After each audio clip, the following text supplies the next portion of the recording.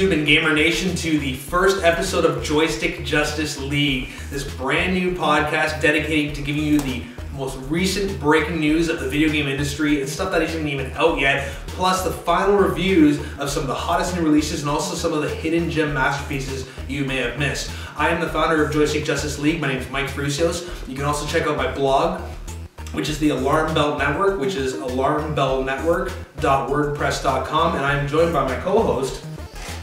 This is uh, Joe Morin. Uh, you can uh, check out my blog at uh, joemorin.appleguy at blogspot.ca.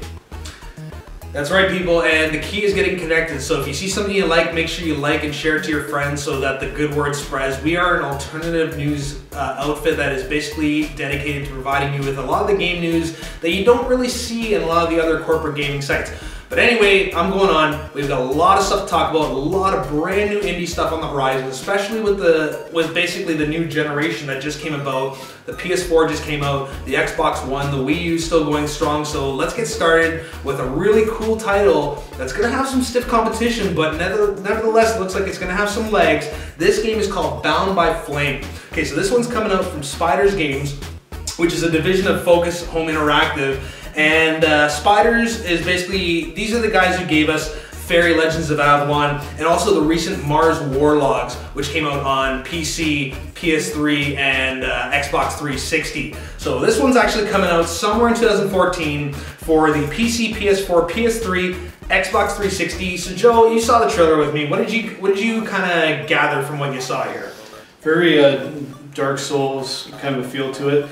It uh, you know it's a real you know, it's going to be for the, the, those hardcore RPG guys out there. It's, um, you know, it's you're not going to be able to, to, just fly through this thing. You're going to have to dedicate some time and really pick your spots and, and uh, make sure that uh, you have the weapons and everything you need because it's going to be a tough game, guys. It's uh, you know you're not going to fly through it. You're going to have to really put some time into it. It's, it looks really really sweet. Oh yeah, I mean like we were saying, this really demands your skills as, as a gamer. Like if you play Dark Souls or Demon Souls, you can't waste any time in these games. I mean, every block, every counter, every hit matters. But like what I was saying before is that this game is coming out at a time where there's really, some really stiff competition. I mean, we have Capcom's uh, Deep Down, which is a PS4 exclusive coming out. Um, and then also you have the major Dark Souls 2 sequel that's also coming out sometime 2014 from Namco Bandai. It seems like this. There's a lot of competition. What What do you think is going to make um, Bound by Flame stand out? It's uh, going to be it's to be the come down to like what it does with every other game. Is that gameplay? Are they going to do something that makes them stand out from uh, from uh, Dark Souls and uh, and Deep Down? And uh, you know, we'll see. You know, the, like Mike said, there's some stiff competition with them. That uh, if they you know if they come out at the right time, and if the time is good and the, gameplay is good, they're going to do alright. Oh, absolutely. I mean, the fantasy genre is something that'll never get too old. Or people always be, be into like that that medieval age, and, and I just kind of inferences I can make just from this little taste we got from the trailer, knowing what Spiders has done with their past games specifically Mars Warlogs, which if you've played it, it it's kind of like uh, this post-apocalyptic game, but it's got like a Mass Effect structure to it. So it's a third-person melee shooter, but then it also has, you know, you can interact with characters and, and pick from like narrative story trees. So I, I, I, have a feeling that, that that's what's gonna kind of space this out from like the say like the action-heavy Dark Souls 2 or Deep Down, where this is gonna maybe bring more of an emotional element and character development. Uh, I even noticed uh, when, I, when I was watching uh, the footage as well. It, uh, I even noticed that uh, you're not just generically attacking the guys. Like I even noticed, like you're, you're, yeah. you are attacking specific points, and that, that affects you know that's going to come into the strategy of you know, how you're going to take these guys on. You know, you're not just hacking and slashing away. You, you got you're going to have to pick your spots and really fight through this thing. Yeah, so it's almost like it's like the thinking man's hardcore brawler. So it remains to be seen. So that's coming out sometime in 2014 from Spiders and Focus Interactive. Also on the horizon, this is uh, this is going to be one that's going to be exciting to people who grew up in the 90s and we were fans of Shadow of the Beast, yeah. which was basically the flagship game for the Amiga and also got ported over to like the Sega Master System, Super NES. Um, you saw a bit of like Shadow of the Beast, the original. So what did you kind of gather from what, what you've seen and where we might be heading? Well, well, back on the old systems, I mean, it's it, it uh, from what I saw. You know, I never, I never got to play it myself. Unfortunately, it looked really unique. You know, even uh, as you're navigating through, I didn't notice that you're not always getting attacked from head on. Sometimes you're getting attacked from behind. So you're, you're not just. It's not. They're not just generically coming at you. It, it's. It, it looked pretty damn cool. Exactly. It, it felt like what Altered Beast would have been like on the TurboGrafx 16. Oh, yeah. You know, when, when like when you play Keith Courage and all of a sudden, like you were saying, multi-directional attacks, multi-level platforming. Um, but now, from when we see the HD reboot version, this one's coming out from Heavy Spectrum Entertainment Labs. Now, what's interesting about this is that this is a beloved 90s franchise that's being taken on by a publisher that I checked their resume. They've only done two free-to-play PS Vita games. Um, I played them. I have them on my Vita. They're called Puzzle Ball and Bully and Blitz, and they're basically very simple, kind of you know iPhone-style games. We're talking about like, from what I can see in this Shadow of the Beast trailer, it looks like it's gonna be like a full-on AAA third-person brawler. Yeah. So you know we'll see what they can do. These guys can can step it up and uh, make something good. And like you said, it's uh, this is a game that's got a, a cult following, and these guys really love this. So hopefully these guys can do some justice and, and come up with something sweet. Absolutely. I I think this is the right kind of game that the PS4 is going to need, say, next Christmas or next spring when, when the Xbox One Titans start coming out, like Titanfall and, Yeah. and all these big heavy hitters, and like Halo 5 starts coming out. The PS4 is going to need something in the absence of a God of War sequel, which has yet to be announced. You know, we obviously know that after the kind of failure of God of War Ascension, Mo- Santa Monica's got to go back to the drawing boards for that franchise. I think from what I can see from this Shadow of the Beast trailer, this could possibly be to God of War 4 what Heavenly Sword was to God of War 3 on the PS3. An early tech demo, something similar in the vein to God of War, but showing us what the early generation tech of PS3 could do when they finally mastered the system and actually were able to put out God of War 3, the masterpiece that it was. Yeah. So you know some of some of the other guys are gonna probably look at this and, and, and see. You know, it's gonna give some of these guys a starting point, and they're gonna it's gonna show them, and then they can add add their own stuff onto it.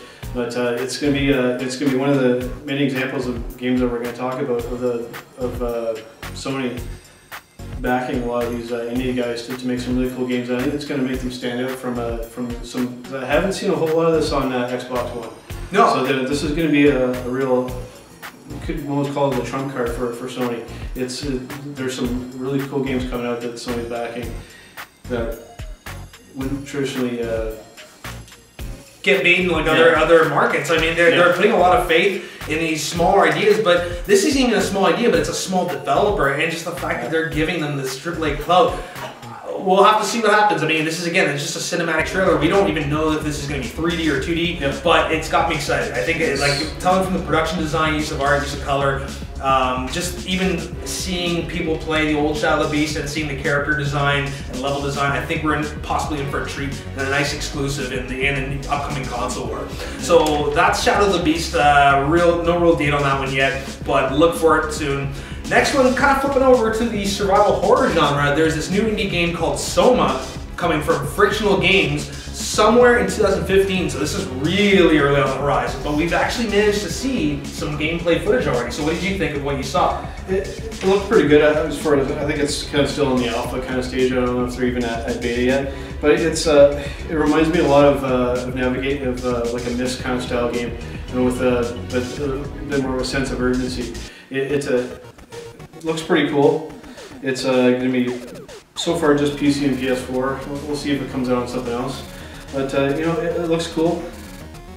I think so too. I, I, I like what you said about Myst because it seems like it takes Myst to the next level. I, I see where you're going with that because it, it, what we saw in the trailer and the early footage is the fact that it's very there's a heavy emphasis on sound and, and environment. There aren't like a lot of like gory creatures jumping out at you. There's not a lot of action. There's just a lot of creepiness, a lot of atmosphere, and, and there's a heavy heavy leaning on like the aliens mythology, like Yeah. and the visuals. I mean, it definitely feels like you're almost in like a sequel to Aliens. So I, I like the fact that we're seeing a survival horror game that's not just kind of going for the tried and true so, tropes of like an alien, uh, like an insane asylum or like a zombie farm. We're actually seeing some some some classic UFO kind of stuff kind of come back into into the into the zeitgeist. So I don't know. This this could be really cool. It's a first-person game. These are the guys who made Amnesia, which was kind of one of those games that people slept on this generation. Yeah. It came out for PS3, 360. What did you see from Amnesia that we can kind of learn about maybe where this Soma game's gonna kind of go? Well, you know, it's so it seems what these guys are doing is they're, they're basically taking amnesia and, and adding more of the atmosphere to it. You know, uh, amnesia, you know, it, it felt a little felt a little stale uh, from, from, what, from what I saw, and, and it seems like that they're adding on to it. And it's you know, is on, on a console, and if you're you know, if, and if they, they do this right, you know, and if you're if you're playing on a, on a good big screen with some surround sound, some of the stuff that I've seen, you know, it's it should be it should be pretty cool. Yeah, it's funny. You say like Amnesia kind of felt stale. Like why? Like you meant you said to me like why? Like you kind of felt like when you were watching the gameplay footage, like why this kind of felt not up to par with like the current generation standards. Well, it, it, it, did, it didn't quite. Like, Like it felt too on rails in a sense. sort of, yeah, yeah. It felt felt on, on rails, and, and uh, I felt a bit of a disconnect because you, it's you know it's a first person perspective, and you, it, it felt a little odd even when you were picking up objects and interacting with stuff. It didn't feel like you were you were really controlling. It almost felt like when I said you were like kind of like mind bending some of the stuff to move it, and it, it seemed a little weird to me. Yeah, I think that that's part of the theme that you can mind bend objects, but if, if it's not, the fact that you're not like you can see in the in the gameplay footage, there's no animation of the hand flicking a switch or anything like Yeah. that. And, and I think at this point, so late in the game, it's, it's kind of inexcusable to not dedicate system memory to be able to produce all those animations to kind of you know pull you into the game's atmosphere. I think that like you were saying, it's kind of a disconnect. Yeah, yeah, you know, it could be something that, that they that they could add on to later. I mean, we'll see. It's got time. I mean, it's It's for 2015, so I think at this point, it's, It's it's a lot of it- yeah. I think I think the it, it's nice. It's a bit of a nod to like Half Life 2 and Portal, you know, where you have objects floating in space, but you know you're you you, you already know as a gamer that you're picking those things up. But I think the novelty is kind of worn off now, uh, unless again, like you're saying, if it's like some kind of mind control thing, I understand why there's a, an animate object floating in space. But I think at this point, they should be taking this time to really put those little touches to kind of that encourage that suture of audience to content. And if, the, if, if they, they don't maybe add, that in, you know, then they might have to maybe add that into the element. Maybe it is a kind of supernatural thing where you are controlling. that- Exactly. That, with, with that stuff, and, and, you know, then that would be cool. They could do it like Bioshock did, but like with with with with the the vigors and stuff, where it, it, it's justifiably with the, the theme, the thematic content that yes, something's floating in space. Anyway, it may sound like a triviality, but you know, Suture does play a lot into the interactive experiences, into interactive entertainment. But again. It does have an amazing atmosphere to it. I love the Yeah. fact that it's using the aliens tropes and something to look forward to from uh, Frictional Games, summer 2015. Next up, oh man, you were excited when you saw this one. This is uh, this is one of the ones that I've been telling people about. This is gonna be one of those aces in the hole that the PS4 is gonna have as a console. Well, not a console exclusive. It's coming out for PC, but it's not coming out for Xbox yet. This one, and what's funny is because it's coming from Supergiant Games. This is called Transistor. So this is slated for next year, possibly you know February, March. I'm thinking. Um, this is coming from the guys that made Bastion, which was like a big Xbox hit, and they're not even planning to do this game on Xbox. I've heard, heard about Bastion for a while, but uh, believe it or not, I, I didn't start playing this game until I, I, uh, I saw it available on, on uh, iOS for iPad. Yeah. And when I got this thing, I mean, I fell in love with this game. I mean, and, and uh, you know, we'll see if uh, Transistor you know, makes its way on, onto uh, iOS devices and, and possibly even Android, because it, it, it felt so cool playing Bastion, on a touchscreen. And, and what Transistor's doing is, is they're they're adding on to it. They're they're putting some other elements into it. You're, you're planning your, your attack out more. Like you're you're you're picking the path of the attacks that, you, that, that you're making. I mean, it's. I'm really looking forward to this one. I think the reason that you're you're latching on to the fact that games like Bastion and you know eventually Transistor play so well on tablet is because it is an RTS game. It's it's three quarter overhead, just like Diablo, just like like Bastion, and that lends itself to more of like a touch interface. And and, and what I really like about this game is just it's just the the art and the design. I mean, It looks cool. This isn't like your typical overhead RTS, which has traditionally been kind of routed in fantasy or steampunk or military, command and conquer, civilization. But now we got something that's kind of trippy, almost Blade Runner esque. And that I guess that is steampunk in a sense, but it's something completely different. But it's just the fact that you've got these Japanese tropes. Like she's got the huge sword that she's dragging behind her, and, and like you said, it kind of reminded you of another game Final Fantasy Seven. Absolutely. I mean, I mean you're, you're literally looking at her, and, and, and, like the sword's as big as she is, and uh, it's. I'm really looking for it. It's you know I'm probably gonna. I'm hoping it comes out on uh, an iPad. But I mean, it's gonna be cool no matter what you, no matter what you play on. And, uh, this is one of my favorite games on this list. It's it's gonna be sweet, mate. Yeah, I mean, it's, it's good on so many levels. Like we were saying when we watched the trailer, not only does it have your Diablo-esque, you know, three-quarter overhead battle elements, but I mean, you can literally freeze the action like you would do in the Bureau XCOM Declassified, and actually start to do real-time strategy elements Yeah. in, in, in, in suspended in space, where like you said, you can draw lines using your touchpad on your DualShock 4 and, and create environmental hazards, which is also something we saw in games like Okami Yeah. HD or for PS2 and PS3, where you could freeze the action, draw dots, which would create environmental hazards and either defend you or attack your enemies. There's so much to this, especially this, this seems like a very deep uh, apocalyptic storyline. Yep. Incredible soundtrack. If you actually get a chance to actually watch the full trailer on YouTube, check out the original music. This one is is gonna be. It's not gonna be like a system seller, but it's definitely gonna be something that the PS4 fanboys are just gonna grab too tight. Especially knowing how. Again, how Bastion became like an underground and eventual eventual mainstream phenomenon. I think Sony's done a really good service for themselves, aligning themselves as Supergiant. Yeah, and, uh, you know this not going to be end for these guys. I mean, uh, you, you, seem like the, the guys that they're going to continue to come with some really cool stuff, and, and you know these two games, I mean, I, think they're just getting started, and this is going to be pretty sweet. Oh, absolutely. So a, a great exclusive, but like I said, coming out on PC as well. So all you Steam fans, you'll be able to get this as soon in 2014. So check it out, Transistor. Uh, coming up next, we also have Child of Light. So Child of Light, this is a new one from uh, UbiArt Framework, Ubisoft Montreal, which are the same people who actually brought us Rayman Origins Yeah. and Rayman Legends. So I think you can see from watching the trailer where this game is easily coming from. What did you gather? Why why should people be playing this game? It, uh, you know, it's uh, I think uh, definitely fans of Rayman are, are gonna are gonna latch up, latch onto this. It's uh, you know, it's coming out for, for all, all, all the major consoles. It uh, you know, it uh, it might lend itself more and more to the Wii U because it, it it does seem like there's some some touch involved there. It reminds me of Dragon Crown.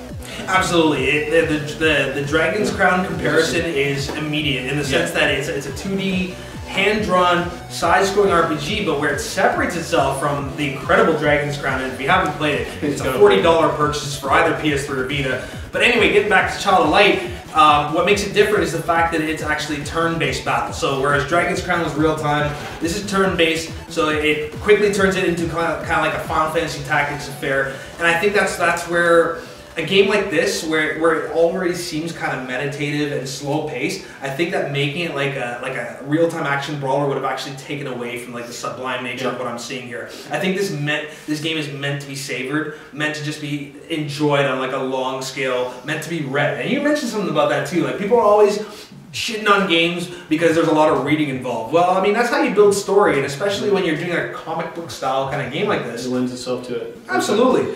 And, and like you said, I mean, we got hand drawn art, so it's just gonna look gorgeous. Is. you see screen. You mentioned the the the fact that this is coming out for the Wii U, the PS4, Xbox, PC. But think about what you're seeing in the trailer. You've also got like in Rayman Legends, you've got a buddy that you can control with the touchpad interface, or have maybe a second player play co-op and and control the little sprite that follows you around like you have in like you know Zelda Ocarina of Time and all these. It's basically like a pretty standard theme along these games. So I, I like the fact that it's gonna it's most likely gonna take advantage of the PS Vita and Wii U second screen interface, which is gonna add a, a beautiful co-op dimension to this game. Yeah, and you know, I'm hoping that this will be something that uh, because it is coming on the Wii U. You know, we all know it's they're not doing all that hot right now. This will be one of those games. You know, it, uh, there's some pretty cool elements to it uh, that uh, you may have already mentioned. But uh, you know, even as you're attacking, you know, there's there's beams of light focusing on the character that you're attacking. They, they're using some of some cool effects, and uh, you know, hopefully this will be something to kind of pull them out of the red and maybe it'll draw some attention and be one of these things that will kind of help them along because I mean you know I know I'm, I'm leaving out the other guys here but I think this is something that, that hopefully it's going to help out the Wii U because they need some help. Um, I think, I- I think this I think be a you're game that, that hopefully this will be a game that that'll save them a little bit. It's not it's not a Pokemon. It's not a, a Mario. you know, it, But it's something that younger viewers and, Yeah. and especially I'd say female gamers can attach themselves Yeah, to. for Female sure. gamers who Oh, yeah. who appreciate good story, character development, and and again and. If you're out there and, and you, let's, let's just talk about Rayman Legends for example. I mean, it's on every platform known to man, but yeah. most people feel that the Wii U version is the superior version to play because of the second screen interface. Yep. So I think again that's what maybe if they can limit the Vita support on the Sony version, this may be what draws people to the Wii U version. So we'll, we'll see what happens with Child of Light. I'm really excited about that. I love like little simple games like but like very deep games like this. And they're, and they're, the it's a it's Ubisoft Montreal guys. Yeah. I mean, I mean these guys. Assassin's Yeah. Creed, Rayman. They, they make a lot of sweet, and it's just it's a bonus that they're they're Yeah. Canadian, and, and these guys they Yeah. make some pretty sweet games. so support your Canadian games. oh yeah. Staying with the Sublime, a big one on the rise. I'm sure some of you have heard this. It was supposed to be a launch title for PS4. It's been pushed back, but knowing the game's creator, that's not a big surprise. He's a perfectionist, and that is a good thing. Jonathan Blow, the maker of Braid, is now coming out with his AAA console follow-up, The Witness. All right, so this one is purely for the PS4 at this point. Okay, so this this is a major bold move for Jonathan Blow, who for a long time, I think pretty well. No, Braid's been out on PS3 since about 09, Yep. but it was essentially an Xbox hit and a PC hit. When I watched Indie Game the movie, of which Jonathan Blow was one of the main three characters that they followed, you could tell Jonathan Blow didn't have the greatest time working within uh, the Microsoft structure. So I think, like a lot of indie developers, he saw Sony uh, and their welcoming attitude towards the indie scene and, and their and their nurturing of it. Yeah. I think he saw that opportunity, and, and you can tell he's getting a lot of support on this game. Sony's been behind the witness from day one. And, and I think we know why because you were pretty baffled by this. So was I. Um, what, did, what did you gather from this game? This isn't your average game. This is again like Braid, like Braid, like anything Blow does. This is very unique, and it's going to have a very divisive audience. No, this is something uh, for, for him. I mean, uh, this guy's, you know, you know, it's a real labor. It seems like he's really, really putting a lot of time into this, Mike. It seems like a real labor of love to him. And, and this isn't your, your your your typical game, in my opinion. It, it's it's it looks wise. It, it immediately reminded me of like a it's like a Zelda kind of atmosphere. But this is, from what, from what I can see, it's purely a, a, a puzzle game, and. and uh, as you're, as you're working your way through these puzzles, you, you can see that, that it's it looks like it's opening up different places. You know, so it's. I was a little confused at first when I first saw this, and it, it looked like you were just solving puzzles for the sake of solving puzzles. But it looks like it's as you open up these puzzles, you're opening up the world and getting a chance to explore for. I'm thinking some greater purpose. Yeah, and, and that's the thing. And if you've played Braid, you know that Jonathan Blow loves to play with conceptions of time and, Yep. and working in reverse as well. As in addition to always moving Yep. forward, which we've always been taught is sometimes only the way to progress a plot. Well, not necessarily. If anybody ever watched the movie Memento, you know that things can go backwards. And also, if you've ever played the game The Unfinished Swan, which came out from Sony Japan last year, same idea. You start with a white screen and you throw out splotches of paint, and that opens up the story world. So it's almost like peeling back the layers. And I see where he's going with Witness here. I, me too. Like when I first watched this, we watched an extensive video of the puzzle solving mechanics. What, what did I keep saying to you? Where's the payoff? Yeah. And then we saw the trailer and we saw it, right? You saw it, things opening up in the environment, Yeah. doors opening. But I think there's going to be an even bigger payoff, and, and, you know we'll, we'll, we'll see what the, the end result is here. But I mean, it, the, this looks really cool. I mean, I, I haven't really seen anything like this. This looks pretty unique, and it, it's being done by a guy who obviously takes a lot of passion. And it's Oh, he's he's meticulous. and uh, you know, so I'm sure sure it's going to be something cool.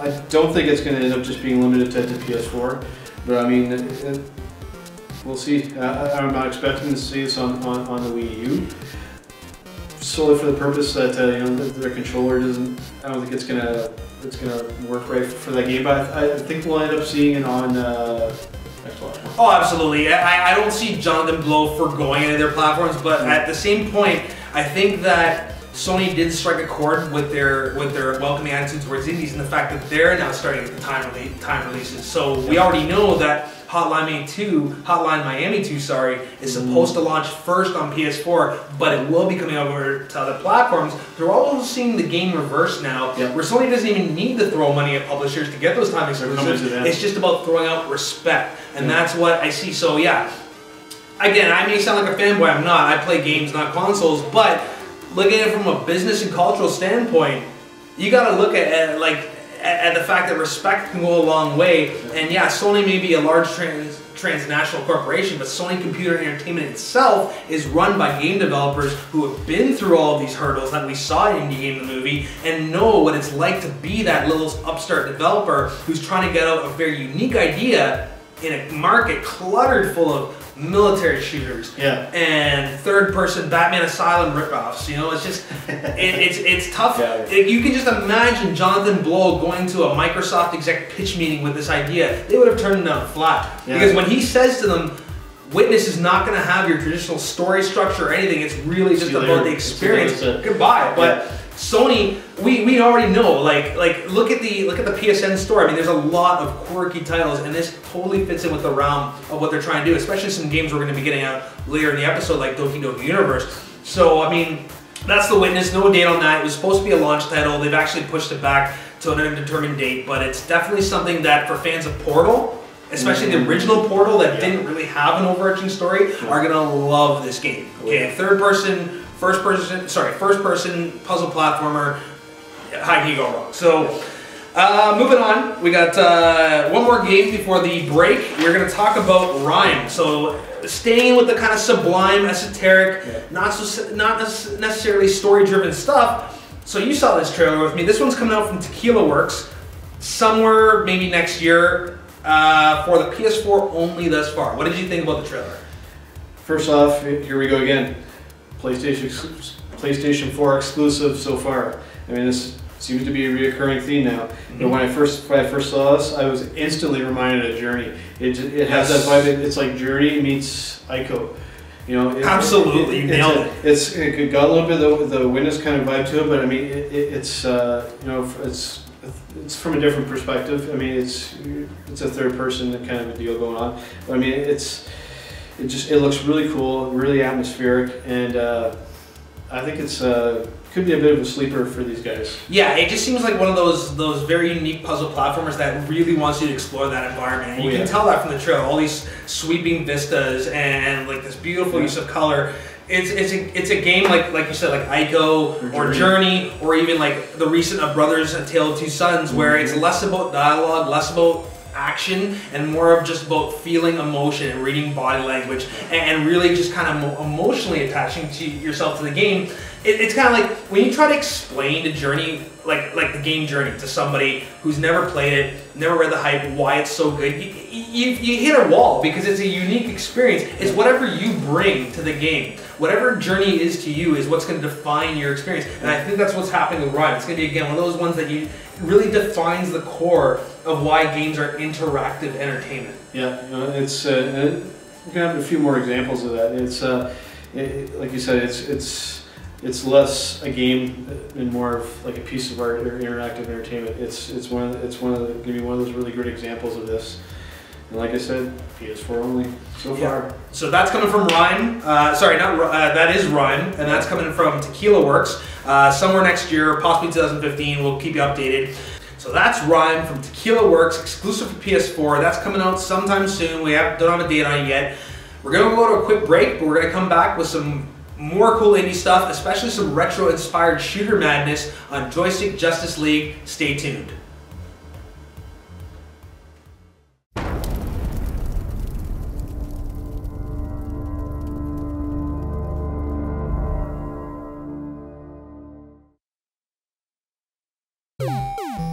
Probably be speaking a little bit elevated like this. And this will be like direct address right to the lens. Oh, yeah! Uh, this is my collection here, about uh, 100 games right now. What's missing from your collection that would help, you know, make it complete? Let's make it a dare. I dare you to go out and get all the Nintendo games. I dare you to do it. How about we do it in a month? We'll do it in 30 days. And he said yes. Boom. Feels like 30 day Christmas Eve, 30 Christmas Eves in a row. Wayne's, Wayne's World, World. which I've never seen before. You're asking me to sell something out of my personal collection. I'm gonna take a chance and try and negotiate with you guys. Uh, one of the regulars there scooped it up at about uh, 9 or 10 a.m. this morning. So the Jetson saga continues. We should have been in Cincinnati, possibly even on our way to Indianapolis, but here we are still in Columbus. What happened? I got it at an exceptional price. The high-priced games I wanted, they weren't willing to budge a cent. The NES essentially received the baton from the arcade era and ran with it. Every game they came out with really had a level of success to one degree or another. For a period of time there, Nintendo was a word used to describe video games in general. You know, so when you see a Mario, like people are dressed up as Mario for Halloween, or you just see it in so many different places, um, and everybody instantly knows what that is. There was just a little magical quality to Nintendo that caught on with the public. That era of games relied on imagination. When they came up with a new product, everybody wanted to see it, everybody wanted to play it. I, I don't want to sound weird or cliche, man, but I have to say this right now, what is happening, is by far the coolest thing I've ever been a part of. I'd like to know the story for each card, like what what happened to this poor thing, why it's in this condition. Like it's like someone set a sandwich on it and kind of, like I can't even get that off. I don't even know if it's blood. I don't even want to touch it. Ew.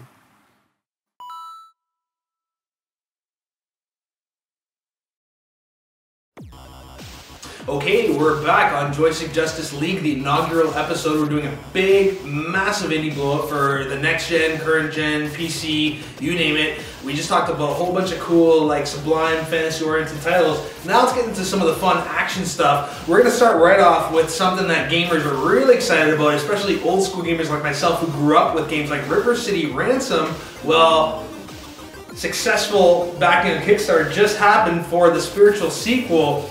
River City Ransom Underground, which is coming from a Canadian company, uh, Conatus Creative, which is actually based out of Ottawa, Ontario. So um, you saw this trailer. What, what did you? What immediately struck you about this? Do you think this is going to still work 20 years later? I, I, think it will, especially for, for guys that, that love these style of games.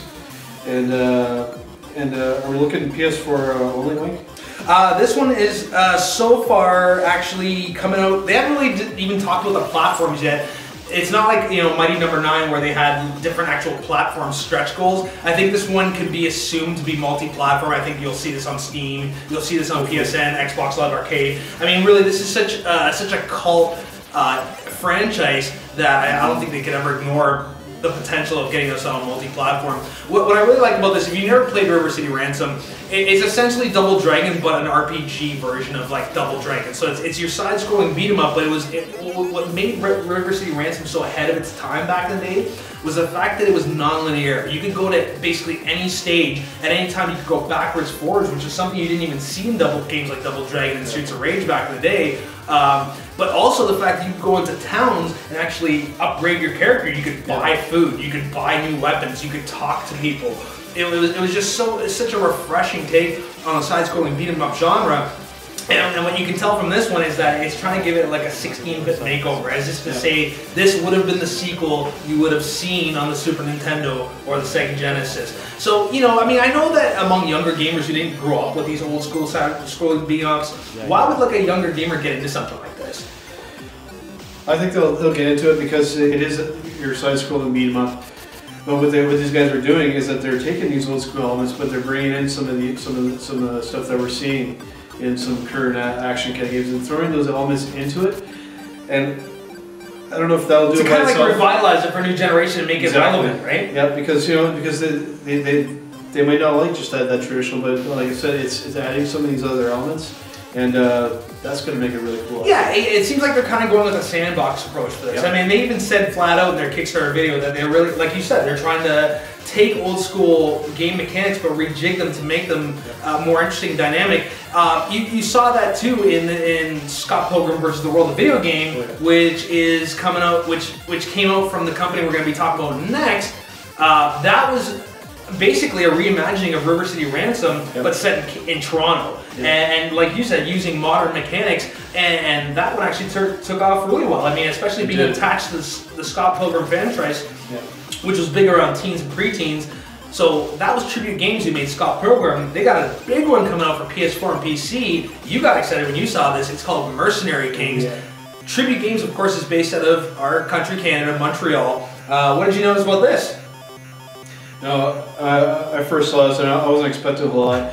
And, and it's right in the name for these guys, tribute games. I mean, these guys are taking, you know, beloved kind of uh, genres of games, and they're putting their own spin and they're putting they're putting real love into these games. I mean, this is like it's like a take take on like uh, Contra and Metal Slug.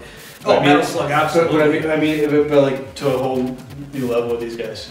Yeah, and I think that new level is what we were we were both kind of agreed on. This Oh, yeah. really feels like a side-scrolling Borderlands, Oh, yeah. just like this open concept, jump and jump out, multi-mission, uh, kind of like an action RPG in a sense. I mean, it is a side-scrolling platformer, but we already learned that you can make your own guns. There's incredibly deep gun crafting in this. Yeah. Like I said, you got four-player jump and jump co-op like you had in Borderlands, so you can essentially join in on somebody else's mission regardless of whether you've actually done that or not. Yeah, that, that- that's, that's gonna make it so cool too. It, it, it's it's they could they very well could have just made this just a single player game, and it still would have been pretty cool. But I mean to have you know other people just join whenever they want to in a multiplayer element, there, that just that makes it even sweeter. Oh yeah, and I think just again the customization and again the varied environments. Even if you do decide to play this as a single player game, there'll be just enough to unlock and discover in this, Yeah. and just you know great action. You know everybody loves a game like Contra, Gunstar Heroes. It's just fast frenetic action.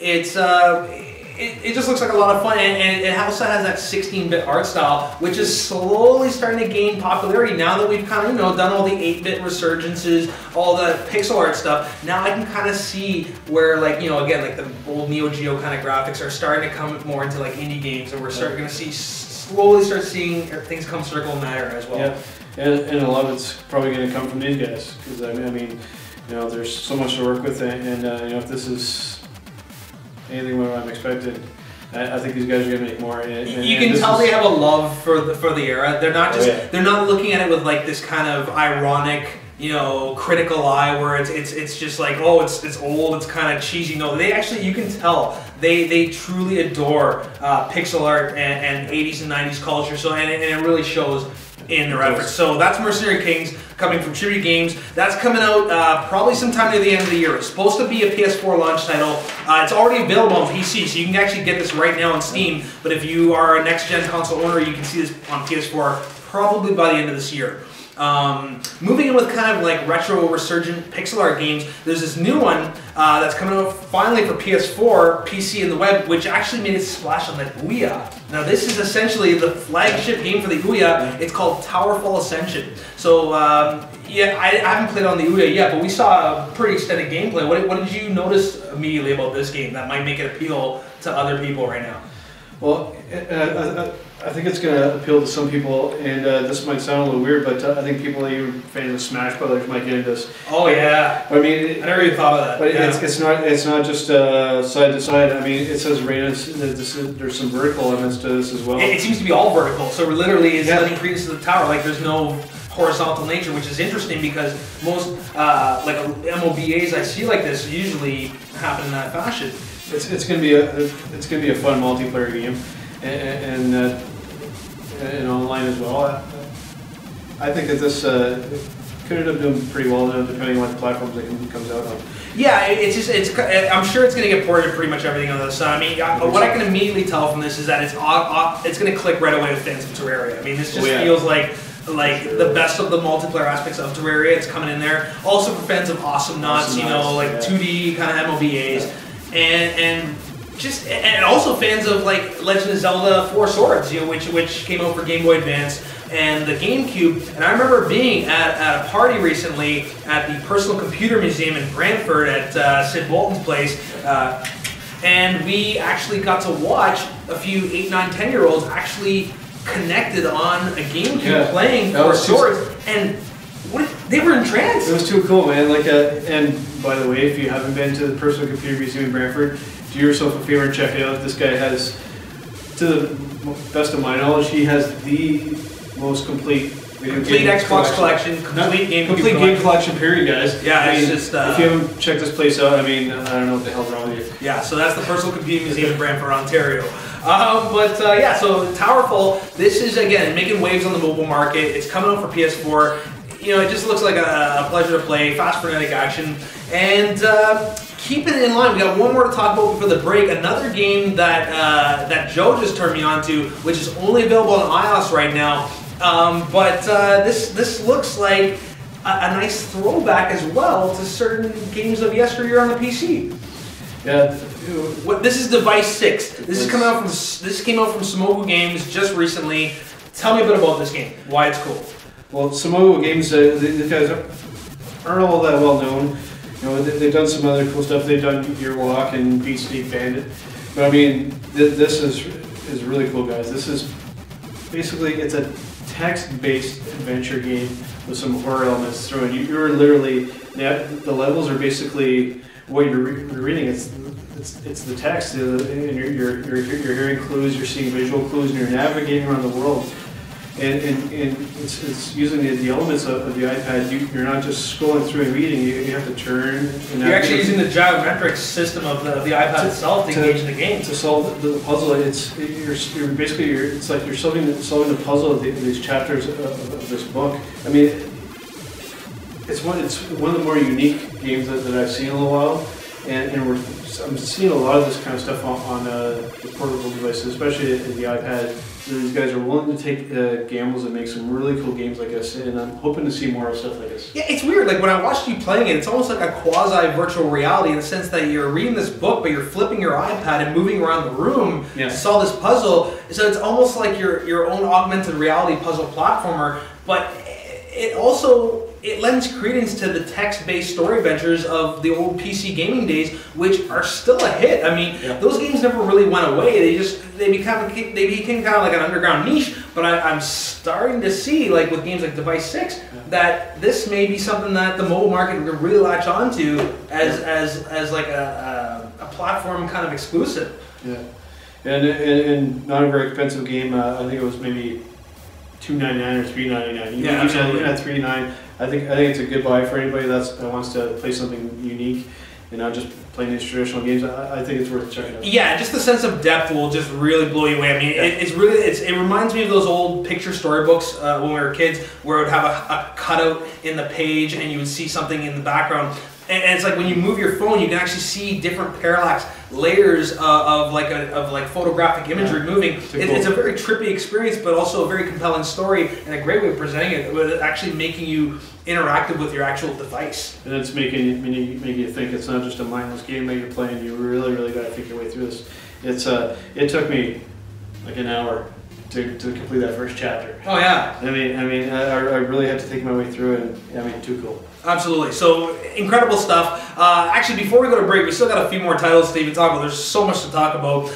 Let's get back into console territory with this game that's coming out from Klei Entertainment. These were the makers of Shank 1 and 2. They're coming out with their new title somewhere next year called Don't Starve. So I talked about this on an old Joystick Judgment Day episode, but now that there's been a few more trailers, um, I wanted to talk to somebody else about it. So um, this is a survival craft game. So what, what's survival craft for anybody who doesn't know what survival craft is? Because it's still a pretty new genre.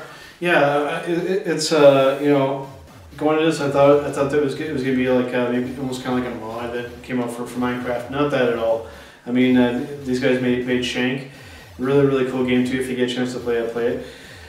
Uh, I, was kind of surprised by, by what I saw. You, you're, you're literally you're in a world creating stuff, and there's so many kind of cool elements to this. So you're, you're trying to survive, and it's not going to be just for yourself, right? Yeah, absolutely. I, I think like where it kind of diverges from other survival craft games like Minecraft and Terraria, where I, th- I think with Minecraft and Terraria, the whole idea is to see what you can build. Okay, like how what, where you can bring your it's like a Lego set, like where you can bring Yeah. your own creativity to designing the world. Where with, Don't Starve, it's more of an arcade approach in the sense that you get one life. You you don't you don't come back and, and start again. It's always randomly generated. Every every experience is randomly generated. So it reminds me of a game that came out for PlayStation 3 and Vita last year called Tokyo Jungle, mm. where it's essentially this this again this new genre of generational gameplay that's really good for gaming on the go and a quick fix. So you, you- like with with Don't Starve, you're gonna see how long you can last. But even if you only last say a year or two in the game, you've at least gotten your quick fix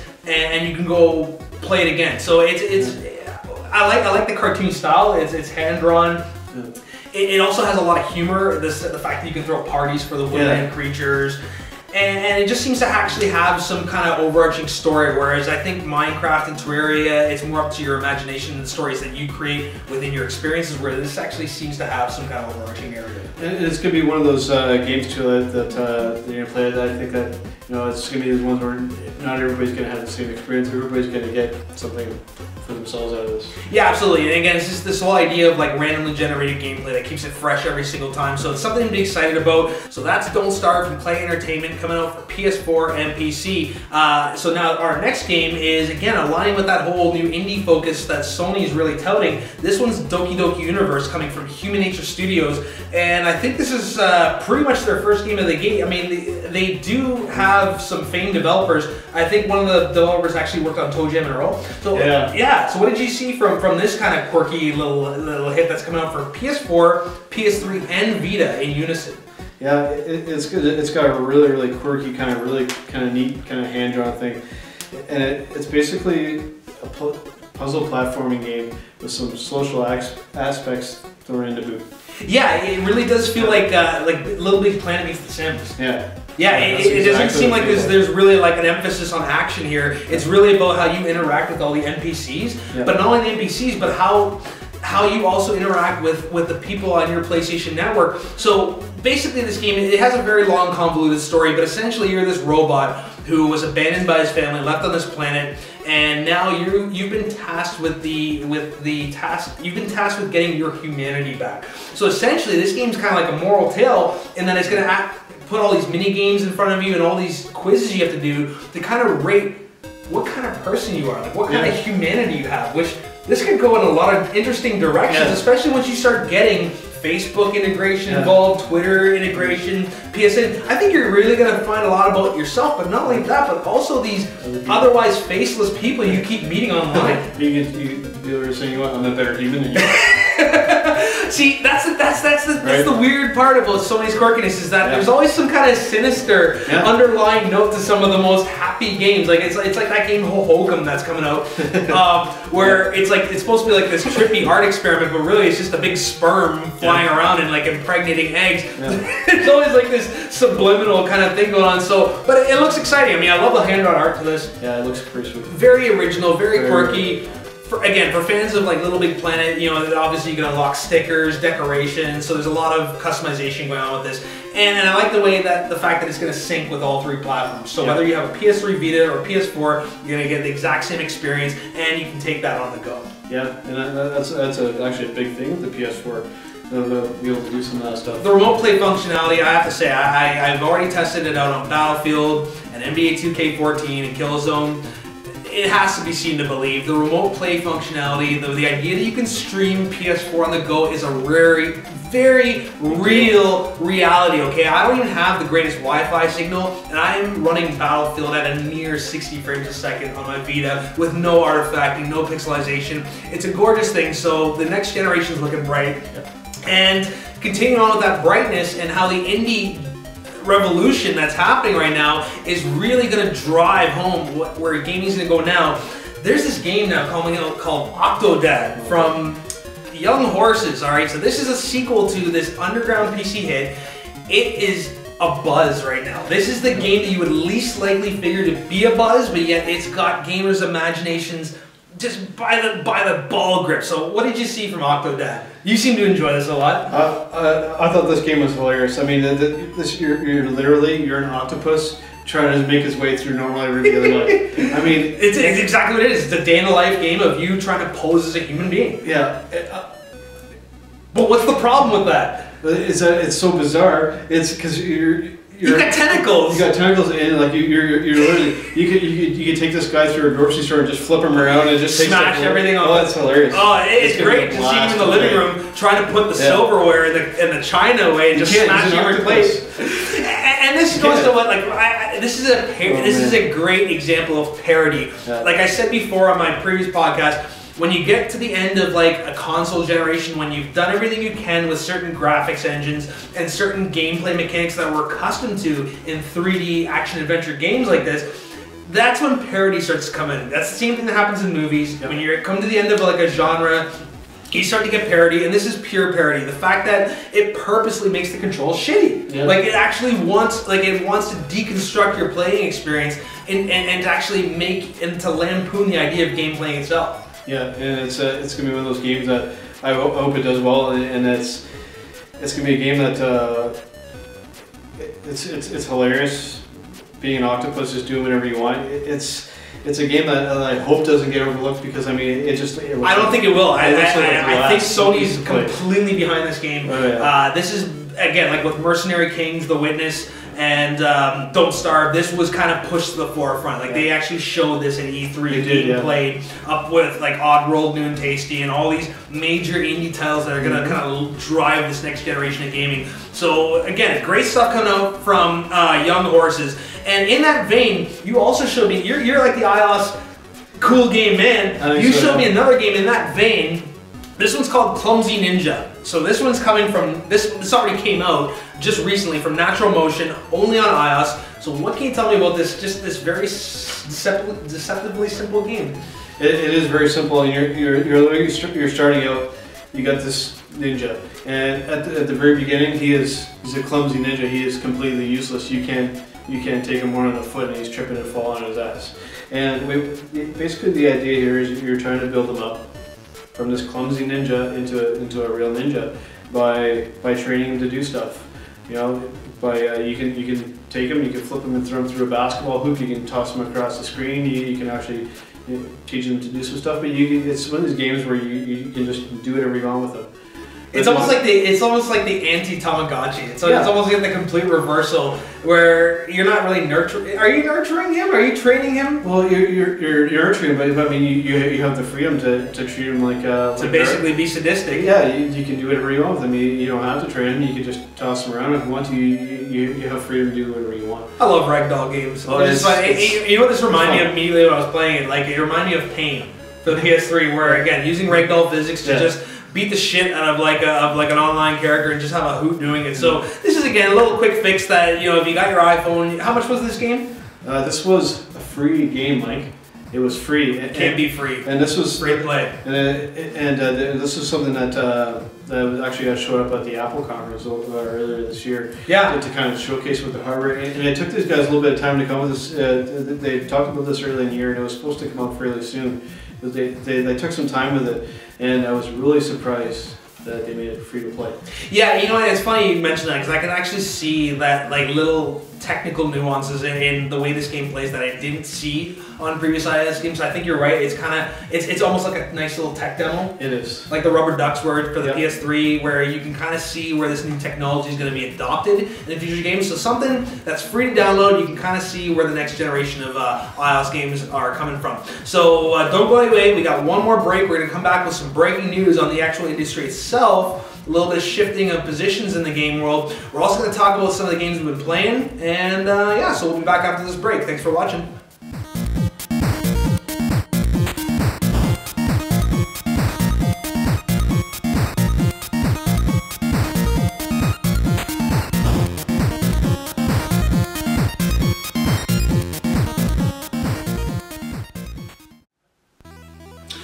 Back for the final part of this inaugural episode of Joystick Justice League. And what we want to talk about now is actually some really big news in the industry. I think it's getting almost a little glossed over in the mainstream media. Um, a certain developer by the name of John Carmack I did, I, I did a spit take when I first heard about this. I went, huh?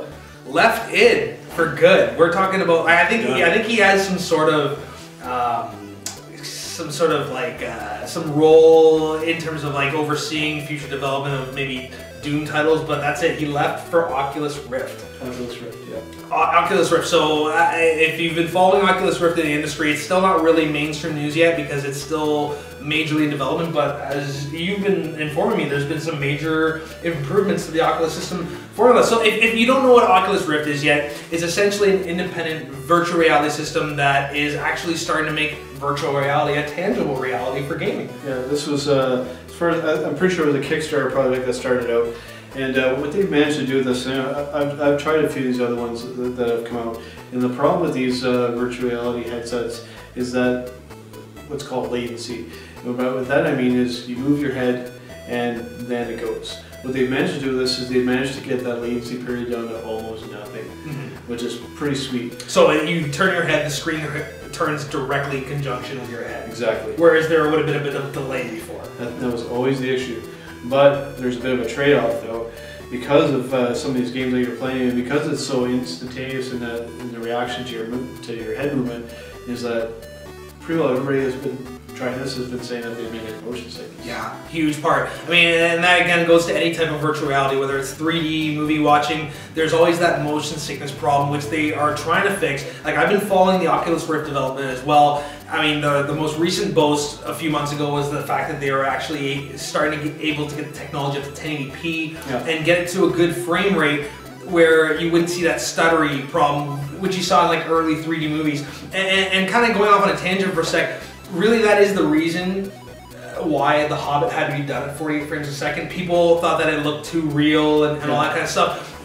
But it's really the only way that 3D can work because if it's being, if, if you're running 3D, uh, especially when the camera pans, it's going to stutter. I noticed that when I saw Tron Revolution. That was the only 3D movie I went to see.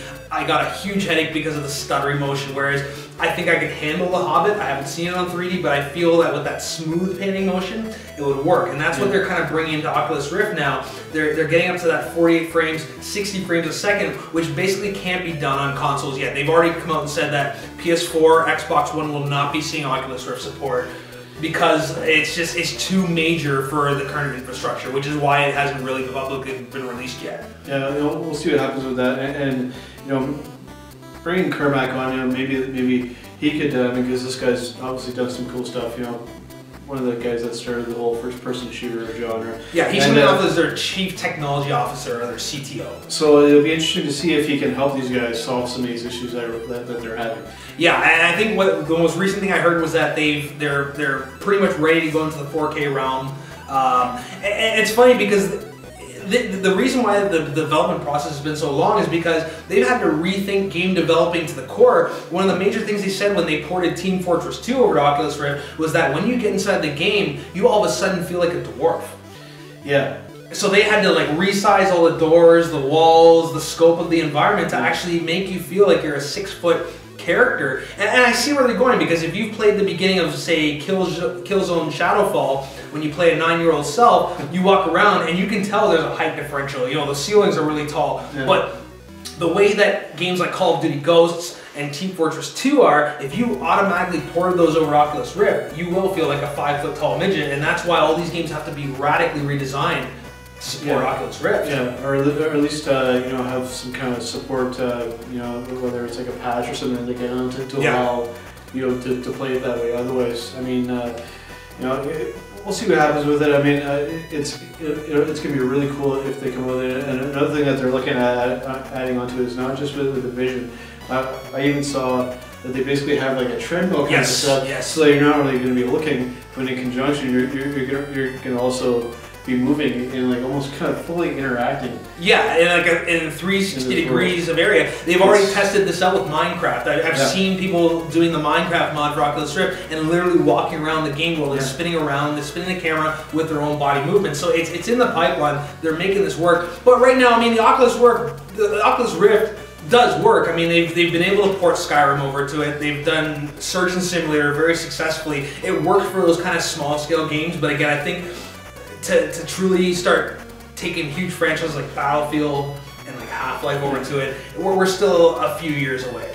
Yeah, it's you know, uh, I don't think that they should rush to try and get this out. I think that they should maybe take their time a little bit. You know, don't take too long because the technology will start changing and then they'll have to start rewriting again. But I mean, we take their time enough to, to try and nail this, this down. And I, I hope it works for them. Yeah, and, and you've got the competition. I mean, it's, it's Yeah. widely known that Sony's working on their own version of virtual reality. We, we already saw it. Like it was, it's almost two years now since they debuted uh, the PlayStation Move enabled um, virtual reality technology for the PS3 that was quickly scrapped once people saw how primitive it was. But we know that Sony's working on this. And I, if I were a betting man, I would say that the PS5 generation will be about two things: VR and 4K gaming. But that's still a few years away. So I think both camps, like Sony and Oculus Rift, whoever else is working on virtual reality. I know there are others. I mean, I've read about others. Oculus Rift is the only one that's really made some headway, but this is really. You have to pay attention to this if you're a gamer. I, th- I think you know that this is really where gaming is going in the next decade. It, it, it's it's definitely where it's going to be going, and uh, and uh, you know, and, and like you said, Sony and Microsoft, you know, they're paying attention to this too, and uh, you know, and if and if Oculus Rift, if they don't start sorting this thing out, I mean, worst case scenario, you might even see Sony or Microsoft maybe even try and buy these guys out for some of these patents that they have, and I hope that doesn't happen because I, I would rather see when these independent guys come out with this because, I mean, for obvious reasons. I think you're right because you know what I think that the the, the inexplicable tie that the, the sorry inextricable tie that Oculus Rift seems to have to Steam right now and especially to Valve keeps the PC faction of the market healthy in comparison to the looming threat of the consoles, which are catching up to the PC's territory. I mean, we see it, and, and like, and, and, the fact that MMOs are now a tangible reality yeah. on next gen consoles. Really, that line between PC gaming and console gaming is, is getting smaller yeah. and smaller. And I think Oculus Rift being tied to PC gaming is what's going to keep that side of things competitive. So that's big news right now really though, like John Carmack left id. So what does that mean for like Doom and and and Quake? Uh, you know, I, done? I don't. I don't think that they're done. I, I'm hoping that uh, some of the guys that are still up behind it have learned enough from them that they can keep this thing going. Yeah, and that's what the official release is: is that Carmack left enough knowledge with the developers to continue on on his franchises. But it, it, it, really is that effect sometimes that when you lose that figurehead, you really lose the heart and soul. I hope that's not the case, but that really was the case, arguably, with Infinity Ward when Vince Zampella and Jason West left to make Titanfall. Now Infinity Ward's not even close to the company it used to be. So hopefully not the same thing with id, but honestly, the way things I see going, I can see id pretty much being subsumed by Bethesda and just kind of joining their umbrella. I hope not. You know, and. Uh, you know, we'll see. You know, I, am hoping that he hasn't like completely cut ties with him. I'm hoping that maybe he could still be like, like kind of a consultant. Yeah, and that's what the word I was looking for, consultancy. And, and, and, kind of keep keep them, uh, not necessarily keep them on track, but you know, to still help these guys come up because, I mean, I don't think we're too long away from seeing a Doom Four. So I hope not. I mean, I, I think Doom Three still has enough lasting appeal how with long the BFG. Doom Three? A long time ago, but then So you saw the interest that was sparked in it with the BFG edition that Yeah. came out. Just the fact that you could play online Doom One and Two seamlessly on PS3 and Xbox and PC, just amazing. So there's obviously still a lot of love. Obviously, like look at the like the attendance at QuakeCon every year. I mean, Yeah. there's a lot of love for the houses that Carmack built. So uh, hopefully, we won't see the end of that. But again, the fact that he is entering the Oculus Rift arena can only be good things for that company. For sure. Yeah. So uh, that's that's that's some big news. To kind of end things off with this inaugural jam-packed info episode of Joystick Justice League, we basically just want to talk about some of the games we're playing. And if you have anything to say about these games, please feel free to put some info into the comments below, and we can have a little discussion. So, what are you playing right now? Right now, I got two big games I'm playing. Clumsy Ninja that I talked about before. I've already kind of talked about that, so I'm not going to touch on it too much. But the other one, other one that I've been playing, PS3. This game alone sells the PS3, and I'm talking about The Last of Us, man. I know I, I've been blogging about this. I've been talking to people, and it's it's. You know, some people are telling me to kind of knock it off already, but I mean, I love this game. That's The Last of Us. Yeah, you know what? I, I, I think that because The Last of Us came out the spring ahead of the big fall rush and stuff, I think, you know, even though it had its 10 out of 10 rating, it had its great sales, I think that The Last of Us has the danger of kind of falling to the side of the hype that Assassin's Creed is getting right now, that Battlefield's getting right now. Um, this is a game for the ages. I mean, wh- whether you love or hate what it's about, I mean, I personally didn't really like the ending. I'm not going to spoil it. I think it was a little negative, but I can't give enough weight to the fact that this game is revolutionary in terms of how it it blurs the lines between between filmmaking and game playing even in a greater way, I think than Uncharted was ever, ever able to achieve. I mean, eh, you were saying this. I mean, just the fact uh, the, the story and the gameplay meld so well together. It's just really an achievement and, and really a, a progression of narrative storytelling in gaming. I, I, I think they're really starting to hit their stride, and you see it in GTA 5 as well. Just no cutscenes, Yeah. nothing in, in and out, right? Yeah, you know, it, it's uh, uh, I haven't been able to put this game down. I mean, I'll, I've, I've gone off and played other games, and just today I was in the middle of playing Ghost. And you know what? I gotta go back and play some more Last of Us. I mean, it's it's one of those games where I mean, it just it never goes away. It's almost like a sexual disease, Mike. It keeps coming back and asking for more, and it keeps pulling me back in, keeps pulling me back in. And Well, without those sore red spots and yeah, embarrassing I mean, itches. it- I can't say enough about it. I mean, I love this game, and I, I'm not the only one that feels this way. And uh, and with Naughty Dog, I mean, I'm really excited to see what these guys are going to do. I, I think this was it. I think Last of Us was really the moment where everybody took notice and said Naughty Dog is really up there with Bungie They are. and BioWare. They're just the top of the top. I think I don't think we could expect any wrong because they know how to make games. They, they take the, the years and the time they need to polish these games. They don't rush them out every year. They don't give a shit about what your shareholders think. They make games that are games for the for the love of gaming. And if you haven't played Last of Us, man, what a great game! It just it's long, and there's just all this extra DLC that's going to continue the story now. So I mean, if you haven't played it, you know, and, and you've been completely blinded by all this next gen hype, really go back to your last gen, and, and this is a classic for the ages. Uh, myself. I have actually been getting to the PS4 now, so I'm playing Resogun, uh, the new one by Housemarque from the makers of Super Stardust HD, and, and what a great launch title. Not a huge AAA game, but just a pretty hardcore game. This game is hard. It's a twin stick shooter, but it's done on kind of like a, a, a gyroscope. So it, it's like a new way of playing and, just really shows you all the cool new particle effects that are capable, like of all the little art, you know, just all the things that can be happening on the screen one time.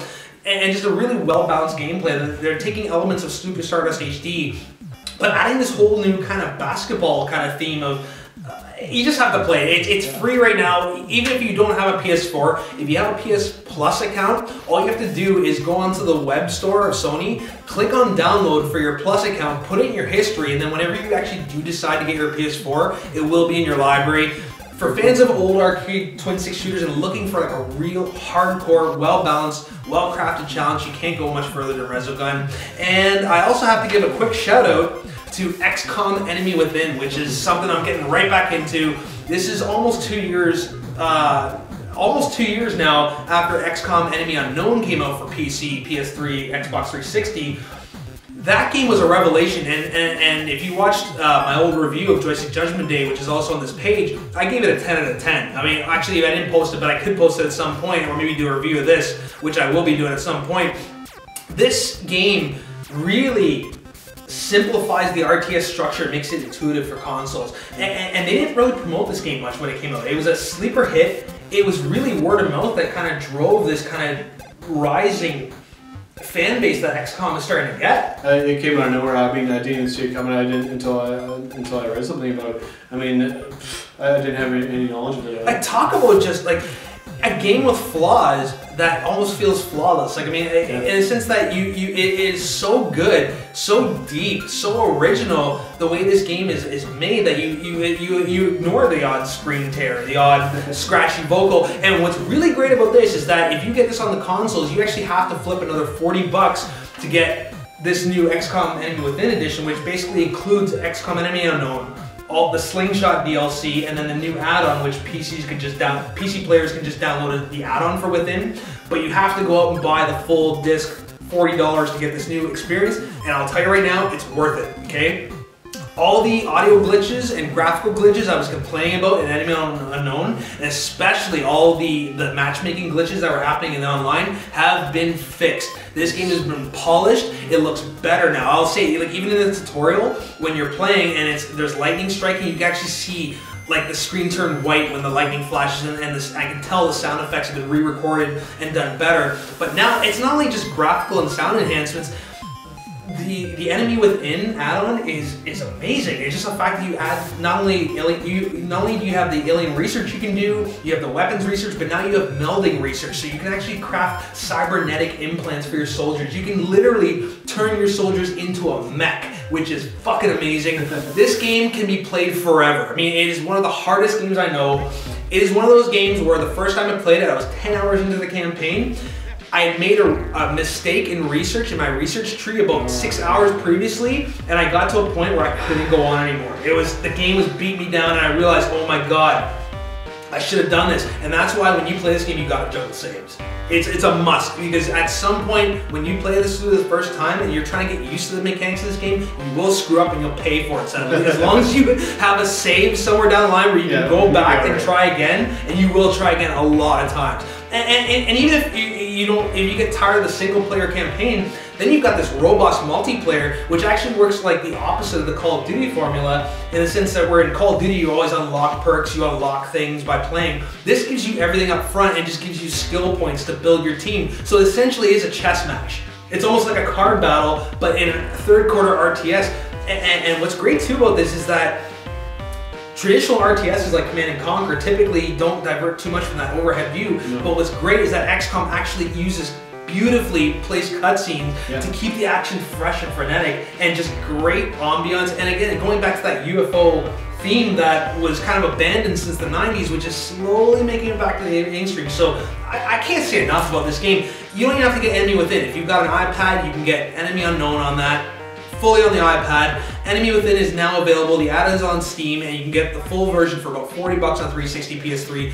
You will not be disappointed. If you ever wanted to feel like what it was play like to, to, to play like Battlefield or Call of Duty as the general and not the soldier, this is it right here. So, um, been amazing inaugural episode. I gotta thank my uh, my host Joe Morin for showing up for the premiere episode of Joystick Justice League. I hope you enjoyed what you see, uh, what you saw today, and we're gonna be back for a lot more. I know you've got a couple reviews coming up. What are you gonna be reviewing soon? I'm going to be reviewing Arkham Asylum and Bastion for iPad. Absolutely, and I will be reviewing sound shapes for the PS4, and of course, I will also be looking at Dragon's Crown, which came out for PS3 and Vita just this past year. Another one of those games you make if you blink, you would have missed it. But for fans of you know the old Dungeons and Dragons arcade games, you're gonna love this. So a lot of great stuff coming from this network. Make sure you subscribe to YouTube, and you guys all have a great day. Support indie games, and we'll talk to you soon. Peace. Here